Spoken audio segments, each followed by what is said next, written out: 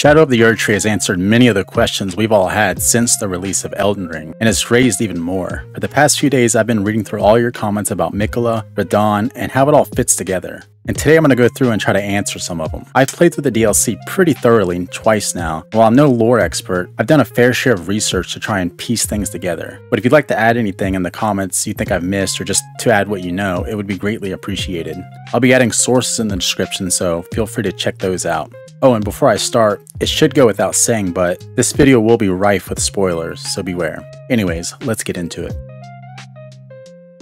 Our first question comes from Sage of Beans and Raccoon, and they ask, is it possible that Miquella charmed Malenia? Okay, so they're talking about Miquella's ability to forcefully charm people into following him. And while it is possible that Miquella could have charmed Malenia, I don't think that's the case. Mostly because during the DLC, Miquella's charm breaks, leaving his followers in disarray afterwards. And if you haven't killed Malenia yet, I would think that going back to her would change her dialogue, but it doesn't. She seems to remain loyal to Miquella without his charm in effect. It's also stated that they have been close since childhood, so it's likely that Malenia truly believes in Miquella's cause and follows him loyally, of her own free will.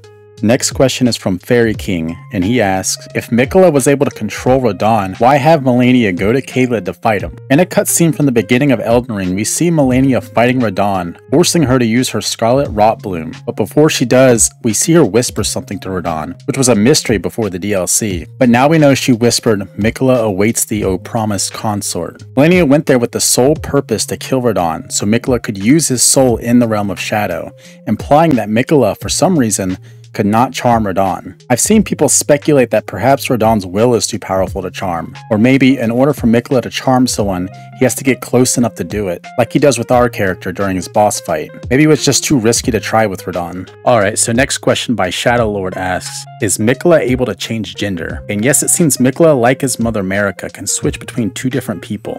Marika turning into Radagon and Miquella St. Trina, and even being able to separate themselves completely. As we see with St. Trina being in a different location than Miquella, which is interesting because I now assume Marika did the same thing with Radagon, separating to marry Princess Rennala and even separating to have children with Radagon, which is honestly wild.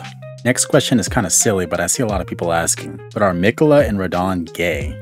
And I guess? I don't really think Radahn has a say in the matter to be honest, but I think Consort would imply they are. Why, you got a problem with that? Well, let me know what you think in the comments. The final question is kind of a general lore question, but Michael asks, does anyone understand the lore now? Because I'm totally lost again. And like I said, this DLC did answer a lot of questions, but raised many more. So a lot of the lore answers will be speculation, which is always fun. I will link a video in the comments by a very good lore channel if you want some of these questions more thoroughly explored. And if you watched this far, I want to thank you. And if you like this sort of stuff, leave a like, subscribe, and I'll catch you in the next one. Bye bye.